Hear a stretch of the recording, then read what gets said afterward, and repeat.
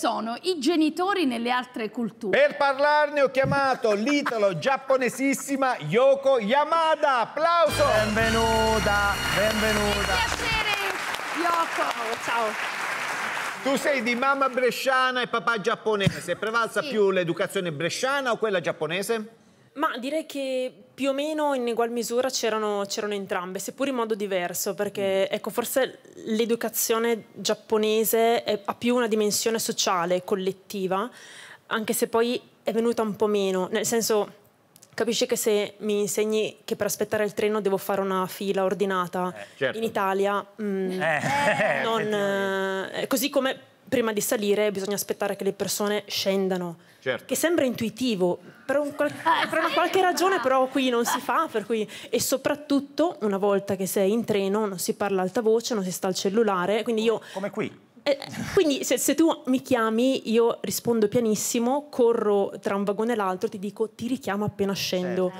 Eh, ho capito che lo faccio solo io, però no, ma effettivamente mi rendevo conto che que- queste- cioè, cozzava un po' la- l'insegnamento con... ehm, Però hai, anche- con hai trovato, hai trovato un equilibrio o no? Rimani così S- in questa dualità? Sì, sì, l'equilibrio c'è abbastanza, dai. Ma, ma anche in casa notavo che c'era qualcosa che stonava, perché per esempio quando si mangiava il ramen, il, il brodo, insomma, la Sì, il minestra, ramen. il ramen, eh, mio padre fa, fa, gli fa il rumore con la bocca, no? il risucchio, come nei cartoni animati. Sì, sì, sì. Perché in Giappone è considerato proprio un complimento al cuoco, insomma, è, è buona educazione. Però qua no, per cui io capivo che a casa c'erano delle cose che si potevano fare, però fuori no. Cioè, tu a casa un risucchio pazzesco e Esatto, poi esatto. fuori educatissimo. Pensa, mi sono ricordato, mio cugino lo ruba il ramen. No, no, è un'altra cosa quello. No, questo falla sa- Ma no, non gli no. dare soddisfazione. Vabbè. Non gli devi dare Questo è soddisfazione. terribile.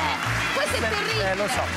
Ma neanche Comunque c'erano anche regole vi- diverse, cioè per esempio anche regole che a casa avevamo in modo categorico come le scarpe, cioè a casa nostra se entri Sempre devi per scarpe. Devi forza lasciare...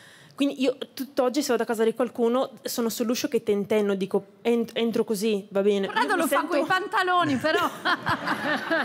Scusa, ma se, Pantaloni. se un giorno a casa delle persone. ti piacerebbe avere una famiglia un giorno e nel caso quale educazione, quella più bresciana o quella più giapponese? Quale vorresti dare? Allora, mettere al mondo un altro essere umano? No, No, mai. vabbè, ma non voleva aprire Non una questa sera, eh? Non è che voleva aprire Una una proposta. No, allora, sul figli, allora, no, nel senso che senso di maternità zero, però mm, no, vabbè, diciamo che la mia compagna è mm, vicentina, eh, viviamo in Veneto, se sarà una famiglia sarà veneta, né giapponese Ecco, né bresciana. Bre- Scusami, però se ti dovesse quale preferisci come Educazione. educazione, quella bresciana.